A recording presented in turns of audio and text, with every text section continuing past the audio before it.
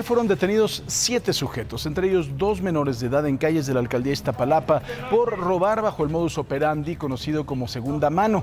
Estos hombres acordaban con las víctimas un punto de reunión para hacer la compra de un vehículo, momento en que los despojaban del auto y del dinero. Luego de una persecución fue posible la detención por parte de elementos del sector estrella de seguridad ciudadana.